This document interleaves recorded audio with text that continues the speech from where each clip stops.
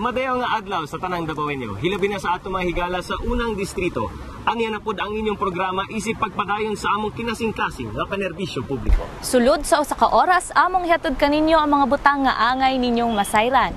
Mga impormasyon, maayong balita, drama ug makalingaw nga storya sa tagsatag sa ninyong komunidad. Kini si Attorney Carlo Nograles magkuyog-kuyog kita sa atong pagbisita sa inyong barangay aron masayran nato ang paglambo sa inyong kinabuhi. Ug kini si Ching Amor nagatuo nga walay pili ang programa nga progresibo tungod og alang kaninyo. Busa tan-awa kung giunsa ni tandog kaninyo ang Kongreso sa Barangay. Mga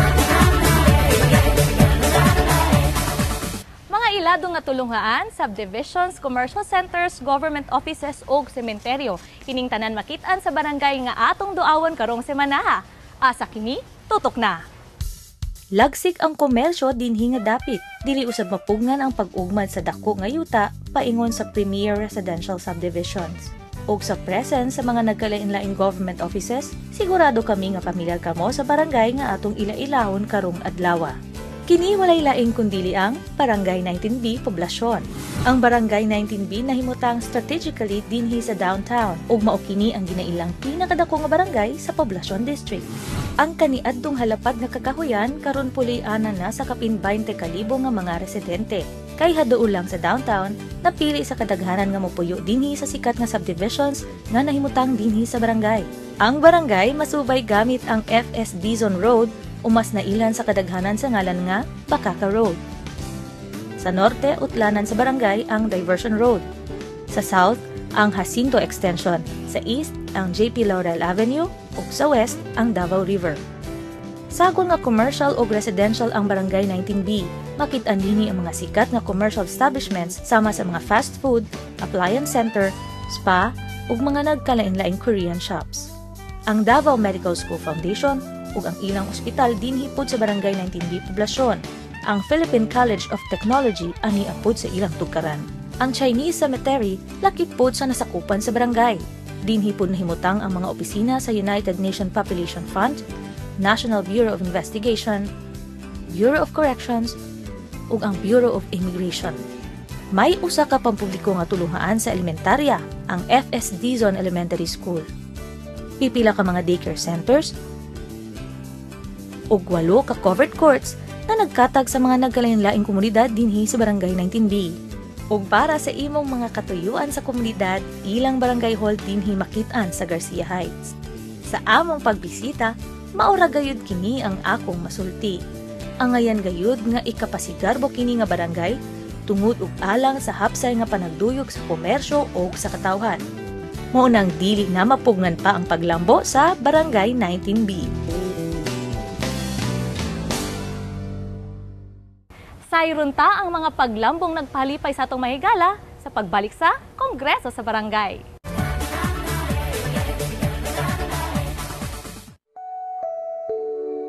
Mayong adlaw, ug welcome sa usa ka episode sa atong programang Tatak Cave.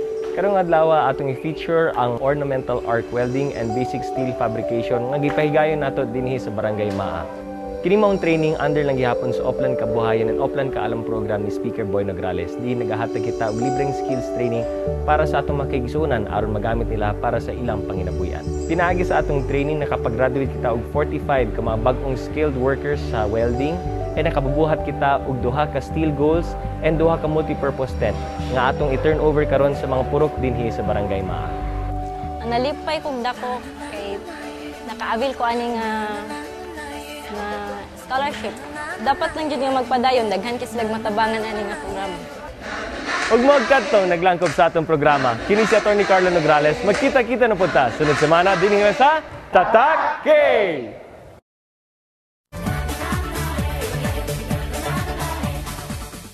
Mapasalamaton ang Barangay 19-B sa lain-laing mga proyekto sa ilang barangay.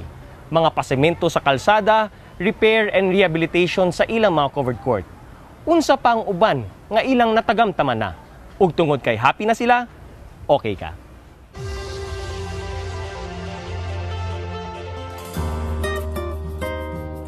Masubay ang Barangay 19-B gamit ang circumferential road lahus dinhi sa hataas nga dalang FSD zone. o mas nailhan sa kadaghanan sa ngalan nga Bakaka. Gihinganlan kini nga Bakaka kay kaniadto among dapit usa ka kalasangan ug kinsa magdahom ang kaniadtong kakahuyan karon dapit na sa mga sikat nga residential subdivisions. Paspas ang pag-ugmad sa lugar. Nag-inat na ang mga bag-o nga mga dakbalay ug dugan ani ang pagdaghan sa mga lumulupyo dinhi sa barangay 19-B. Ang pag-uswag sa barangay dili lang basta-basta muhunong sa pagpagdaghan sa mga kinatukod sa maong lugar. Lakip sa pagsulong sa usa ka komunidad ang bililhong proyekto sama sa mga livelihood projects, paghupot sa kalinaw sa lugar, ug ang matagan ug tarong nga edukasyon ang mga lumulupyo. Apan tingali, wala nay mas konkreto pa nga proyekto nga mahatod sa katawhan kundili ang mapasemento ang ilang mga lubak-lubak ug lapukon nga mga dalan. Ug sa among pagbisita dinhi sa Barangay 19-B, among giadtuan ang pipila ka mga dalan nga napasemento gikan sa usa sa mga focus programs sa opisina ni Speaker Prospero Nograles, ang Oplan Kalsada. Dinhi lang sa Barangay 19-B, dili moubos sa 20 ka milyon ka pesos ang gigahin nga budget para mapasemento ang mga kadalanan dinhi sa barangay. Sa among pagduaw, gisugat mi sa mga malipayong homeowners sa mga nakalilaing subdivisions dinhi sa barangay. Among gisusi ang kahimtang sa mga lumulupyo dinhi tapos masemento ang ilang kalsada. Sa una ba, lubak-lubak gini siya. Duwara ka nang na mga lunangan sa kabaw. Perting lisura, mag-away na gani ang pasahero ug ang driver kay mga pakong ang pasahero tungod sa lubak lagi mo ambak lagi kalit ang jeep. karon sa pagkakaron dako kayong pasalamat kay kaniadto sama sa gikasulti nako nga ultimo taxi maglisod og sulod dili mo balibaran mi pero sa pagkakaron dili na siyang balibad kay hapsay kayo ang agyanan. Sunod namo nga giduaw ang awhag o gitan-aw ang bag-uhay ra nga gisemento nga dalan nga kaniadto grabihan kabatuon. kaniadto kanang lapok ba? Nga karon pwede naman duha ka sakyanan mo agi. Kaniadtong una di man gyud makakuan og duha kay piit man. Sa among mubo nga pagbisita, among naila-ila ang usa ka higala dinhi sa Teachers Village ug iyang gisaysay sa amo ang ilang kahimtang kaniadtong dili pa sementado ang ilang lugar. karon sa pagkakaron dako kayong pasalamat. Kay kaniadto sama sa gikasulti nako nga ultimo taxi maglisod og sulod dili mo balibaran mi.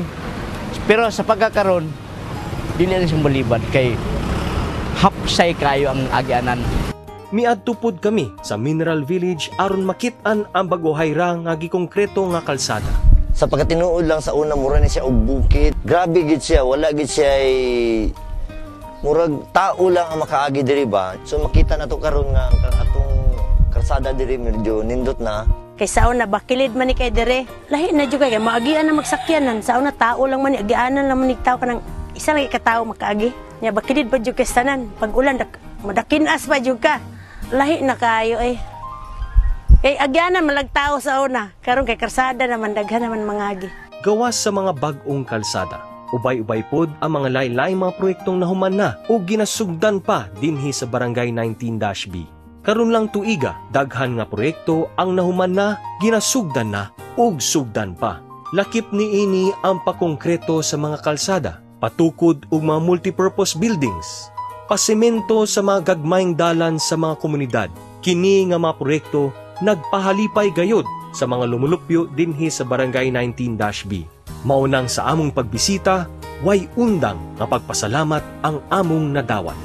Nagpasalamat kog dako kay Attorney Carlo Nograles nga iya gyud ming gitagaan og anindot nga agianan. Nagpasalamat kami tanan diri nga namuyo nga haruhay na, hayahay na nga among pag-agi kay dili nami magkanang kinto-kinto sa lapok. Oo, magpasalamat ako kang attorney Nograles nga mao man di among gipangay, gipangayuan kinta. Og uban sa iyang anak nga si attorney Carlo nga mao say nagpaluap sa among mga gipangayo.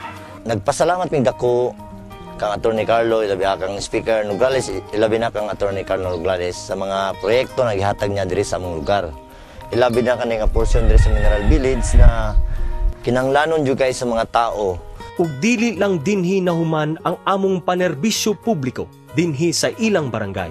Makasiguro kamo nga di